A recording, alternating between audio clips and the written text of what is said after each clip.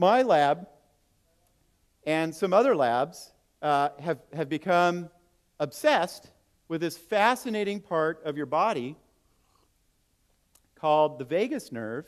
Vagus is Latin for wandering, and the vagus nerve starts at the top of your spinal cord. And just think about a couple of things. It's unique to mammals, right? Uh, it is interconnected, some studies suggest, with uh, oxytocin networks, which we're about to talk about. Recent studies suggest the vagus nerve is also related to a stronger immune system response.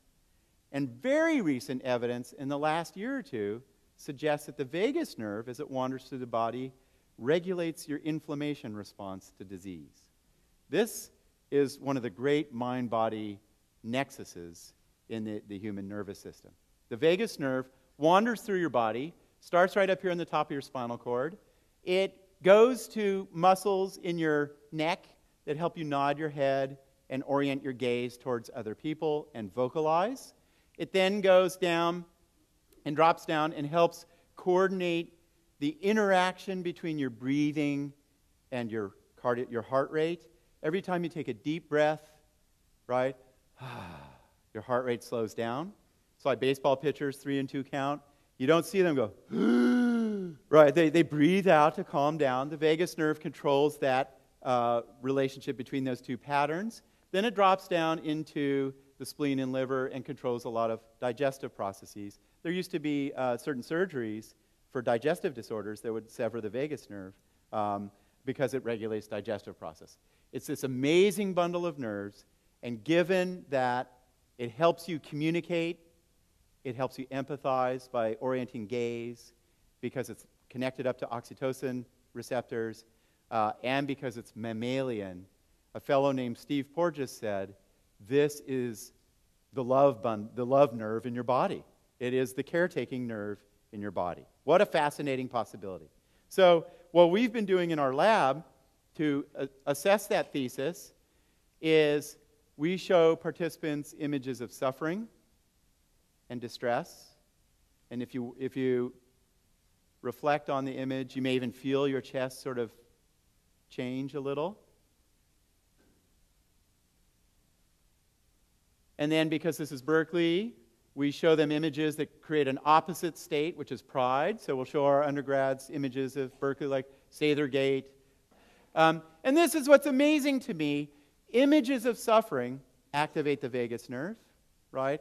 We have a new study. If somebody tells you an experience of, say, their grandparent dying, your vagus nerve fires. If they tell you an inspiring story, their vagus nerve fires. It's getting ready for feelings of compassion.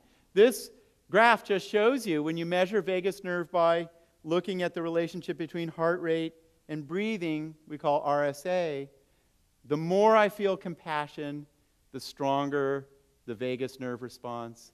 The more I feel pride, the weaker the vagus nerve response. And this really astounds me. In that state of having a strong vagus response, vagus nerve response, I feel common humanity with many different groups, right? I'm feeling connected to people of different political persuasions, different ethnic origins. These are Berkeley undergrads. They even admit to feeling similar to Stanford undergraduates, uh, which is a remarkable thing. So, um, and that's the self-other similarity. So these deep ethical intuitions of, gee, we have common humanity, are tracking a physiological process, which is really, really cool. Um, another way that we can study the role of the vagus nerve in compassion and the meaningful life and, and social well being is find people who have really strong vagus nerves uh, or sort of high levels of activation in that bundle of nerves you can do it in the lab. You could come to my lab and we could give you a profile of how, and we think of this as a temperament. Um, I, I, as a joke, called these people vagal superstars, but uh, that's how people like to think about them. Um, and what we find is a really interesting profile. If you have a really sort of a, a strong uh, vagal profile, which you can cultivate through exercise, and recent studies suggest meditation uh, and other practices, if you have a strong profile, you have more positive emotion on a daily basis, stronger relationships with peers, better social support networks. Kids in schools, fifth graders who have a stronger vagal profile are the kids who intervene when a kid is being bullied and they cooperate and will generate, will do, do, donate time, like rec- recess time, to help a kid who needs help on homework. Uh, it relates to altruism and prosociality as well, and they're trusted more. So, another kind of data that says, wow, we think of compassion as, as this higher order emotion, but it really is tracking part of our, our nervous system as well.